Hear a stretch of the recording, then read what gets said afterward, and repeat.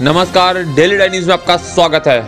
आज से क्रिकेट का मिनी वर्ल्ड कप शुरू हो रहा है। जी हाँ आज से शुरुआत हो जाएगी चैंपियंस ट्रॉफी की, जिसमें आठ देश भिड़ेंगे एक ट्रॉफी के लिए। तो वहीं आपको बता दें कि इस मैच के शुरुआत से पहले उद्घाटन समारोह में आईसीसी ने आठ चैंपियंस एम्बेसडर को बुलाया है। यहाँ आपको बता दें कि इसमें आठ देशों के हर एक का प्रतिनिधित्व करते हुए खिलाड़ी उद्घाटन समारोह में भाग लेंगे, जिसमें भारत की तरफ़ से हरभजन सिंह, पाकिस्तान की तरफ़ से शाहिद अफरीदी, बांग्लादेश की तरफ़ से बसर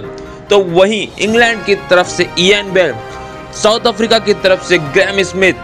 श्रीलंका की तरफ़ से कुमार संगकारा और ऑस्ट्रेलिया की तरफ़ से माइक हसी और न्यूजीलैंड की तरफ़ से शेन बॉन्ड हिस्सा लेते दिखेंगे, जो बने हैं आईसीसी चैंपियंस एम्बेसडर जिन्हें आईसीसी ने चुना है और ये सभी खिलाड़ी कभी ना कभी चैंपियन टीम का हिस्सा रहे उद्घाटन समारोह में ये भाग लेंगे और ये मैसेज पहुंचाएँगे वर्ल्ड में कि क्रिकेट केवल एक खेल नहीं है, बल्कि ये एक ऐसा जुनून है जो लोगों को आपस में जोड़ता है।